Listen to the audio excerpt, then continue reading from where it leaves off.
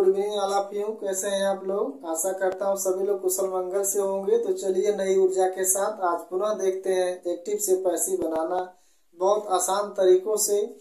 और यह आपको प्रेजेंट कंटिन्यूस का थर्ड पार्ट है, जो इंट्रोगेटिव सेंटेंसेस से पहले हम पॉजिटिव, नेगेटिव बना चुके हैं। अगर आपने नहीं देखा है तो प्लेलिस्ट में जाकर के उसको देख सकते हैं। इससे पहला जो टेंस है प्रेजेंट इंडिफिनिट का, उसको भी हमने उस पर चारों रूलों पर बना दिया है। उसको भी आप वहाँ से देख सकते हैं तो एक क्रम से, अंग्रेज़ी व्याकरण का एक क्रम से जो वीडियो अब हर टॉपिक पर आपको मिलेगा हमारे यूट्यूब चैनल के इंडिया अकेडमी माध्यम से। तो चलिए देखते हैं प्रेजेंट कंटिन्यूस का कैसे बनाया जाता है।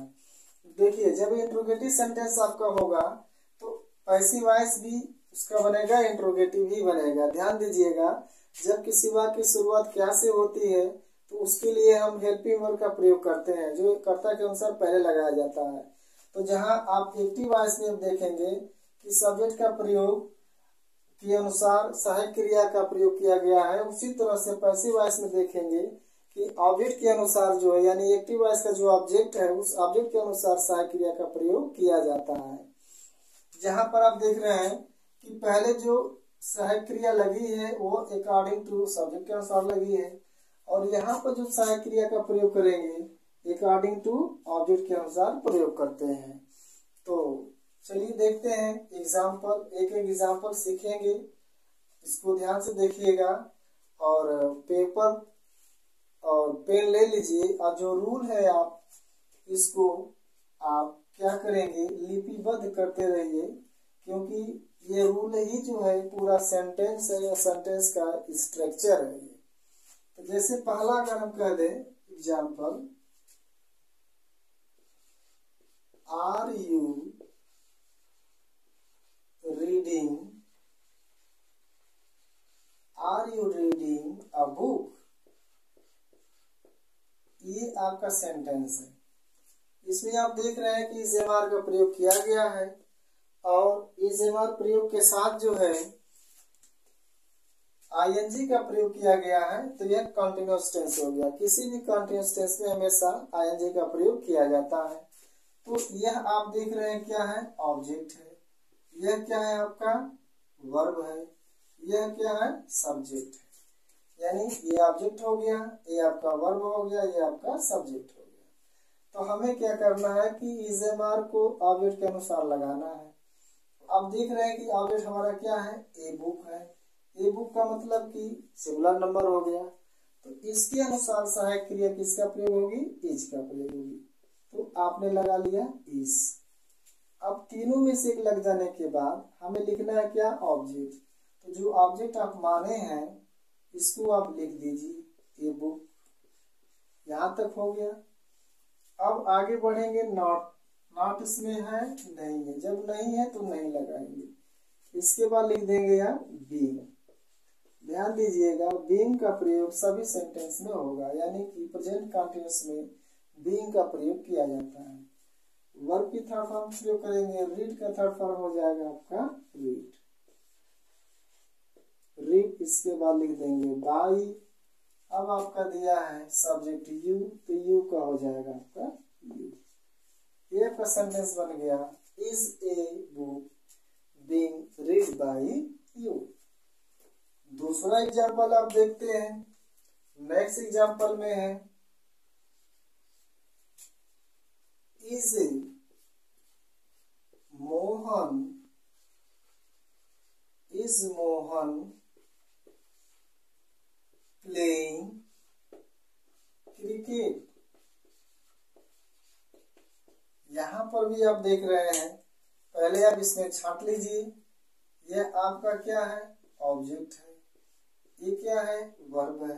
ये है आपका सब्जेक्ट तो यहाँ हमें वही काम करना है। सहायक क्रिया का प्रयोग ऑब्जेक्ट के अनुसार लगाना है। तो इसमें क्या दिया है? क्रिकेट तो क्रिकेट भी क्या है? सिंगुलर नंबर है। इज़ इसके बाद ऑब्जेक्ट लिख देंगे। ऑब्जेक्ट क्या माना है आपने? क्रिकेट है। तो हो गया क्रिकेट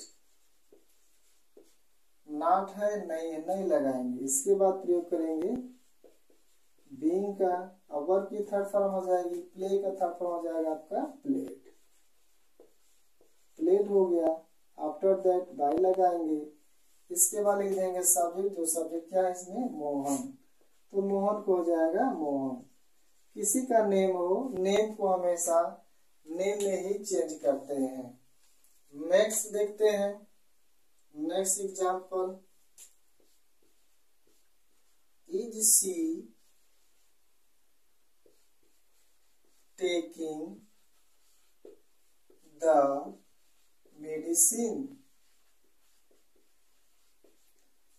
इसमें भी आप छाप लीजिए आपका क्या है? ऑब्जेक्ट है।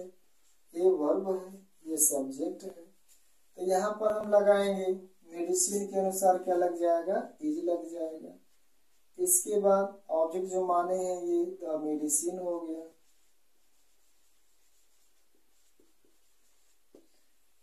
नॉट है, नहीं। इसके बाद किसका प्रयोग करेंगे? बीइंग का प्रयोग करेंगे। बीइंग के बाद वर्ब की थर्ड फॉर्म लगाएँगे। टेक का थर्ड फॉर्म हो जाएगा टेक के। इसके बाद लगा देंगे बाई, और सी है तो सी को चेंज कर देंगे। सी का होगा आपका हार्ट ये बन गया is the medicine being taken by her. Next example देखते हैं। Am I not am I not teaching you English ये हो गया आपका।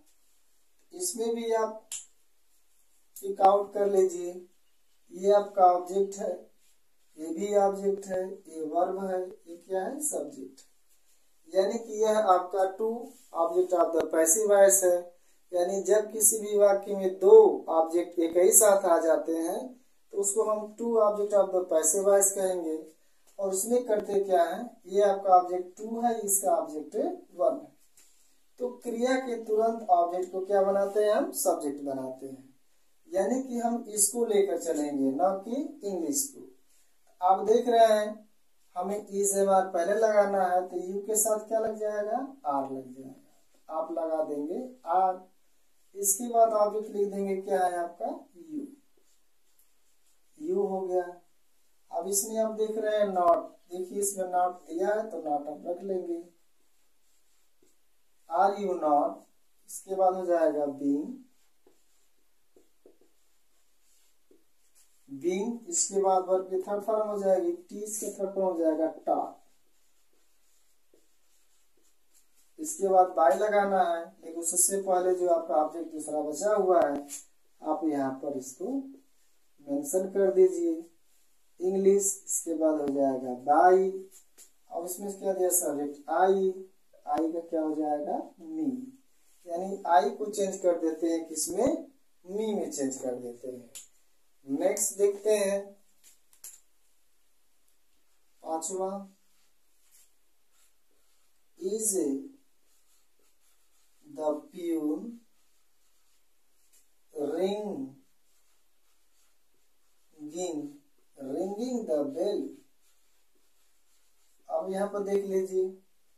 यहाँ पर भी आप मेंशन कर सकते हैं।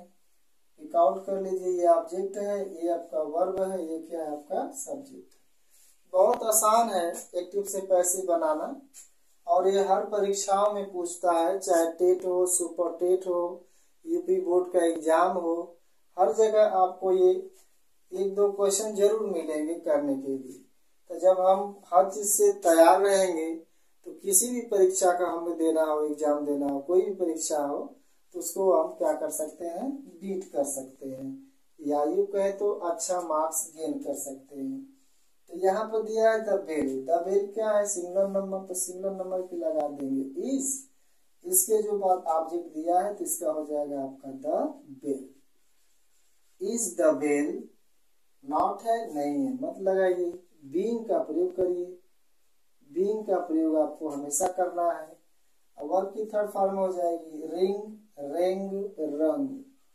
R U N G third form हो गया।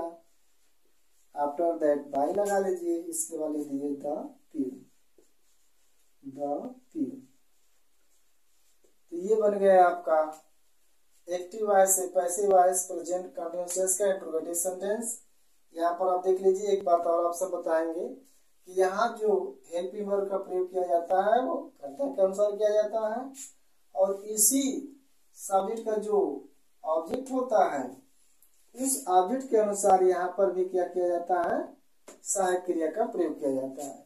यानी ये भी इंट्रोगेटिव होगा तो पैसे वाइस भी आपका इंट्रोगेटिव का बनेगा। इसके बाद हम ऑब्जेक्ट लिख देंगे जो माने हैं ऑब्जेक्ट जो उसमें दिया गया है, उसको रख देंगे। नाट रहेगा तो लगाएँगे, नहीं रहेगा तो नहीं लगाएँगे। बींग का प्रयोग जो है, आपको हमेशा करना है। यानी जो आपके लिए नेसेसरी है, वह बींग का प्रयोग आपको हमेशा करना है। और वर्ब की थर्ड फॉर्म का प्रयोग और बाई का प्रयोग।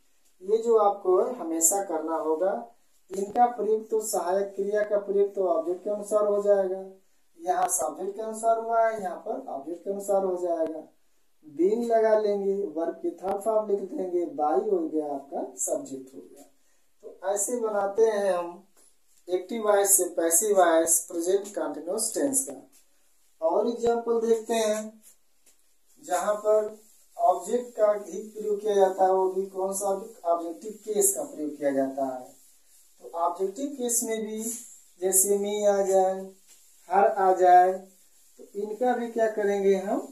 सब्जेक्ट के रूप में पैसिव वॉइस में प्रयोग करते हैं। जैसे, अगर आ जाए आर यू एब्यूजिंग मी यहाँ पर आप देख लीजिए, यह आपका क्या दिया है? प्रेजेंट कंडीशंस का इंट्रोगेटिव है यह आपका ऑब्जेक्ट हो गया, यह आपका सब्जेक्ट वर्ब हो गया, यह आपका सब्जेक्ट हो गया। तो जब हम मी को आई में बदलते हैं आई को मी में बदलते हैं तो उसी तरह ये भी मी को किसमें बदल देंगे हम? आई में। और आई के साथ क्या लग जाता है? एम लग जाता है। एम हो गया। इसके बाद मी को चेंज कर दिए आई में। इसके बाद हमें लिखना है नॉट नहीं नहीं लगाएँगे। बीइंग का प्रयोग करेंगे। वर्ब की थर्ड फॉर्म हो जाएगा एब्यूज एब्यूज का थर्ड फॉर्म हो जाएगा एब्यूज इसके बाद बाई लिख देंगे और यू का चेंज कर देंगे इसका बाद हो गया ये am I being abuse by you next example देखते हैं। इजी ही is he not calling me क्या वो मुझे नहीं बुला रहा है? तो यहाँ पर भी देख लीजिए। यहाँ पर अगर मान लेते हैं हम मी आपका है ऑब्जेक्ट ये क्या है आपका वर्ब है? ये आपका है सब्जेक्ट ठीक इसी तरह यहाँ पर भी हो जाएगा आई और आई के साथ हो जाएगा। एम, इसके बाद आई, इसके बाद इसमें नॉट दिया है तो नॉट लगा लेंगे। नॉट के बाद हो जाएगा बींग इसके बाद वर्ब थर्ड फॉर्म लिखना है तो थर्ड फॉर्म काल का थर्ड फॉर्म हो जाएगा आपका काल इसके बाद बाई। और यहाँ पर बदल देंगे। ही को बदल देते हैं किसमें? में बदल देते हैं। इसका हो गया am I not being called by him next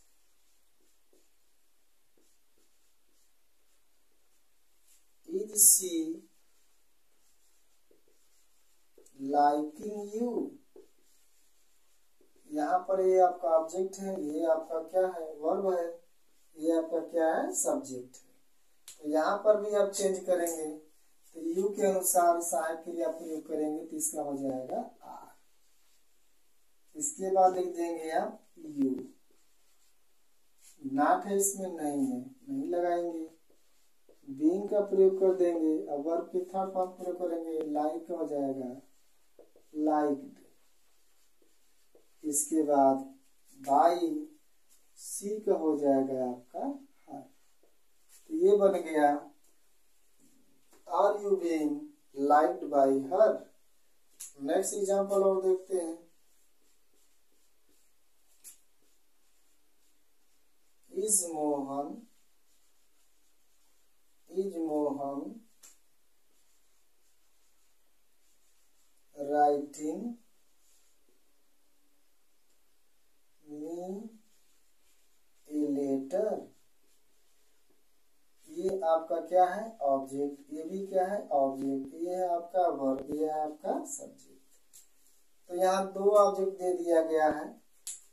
तो क्या करेंगे? आपको बताया हमने, ये ऑब्जेक्ट टू है ऑब्जेक्ट वन है। तो क्रिया के तुरंत बाद वाले को क्या बना लेंगे हम?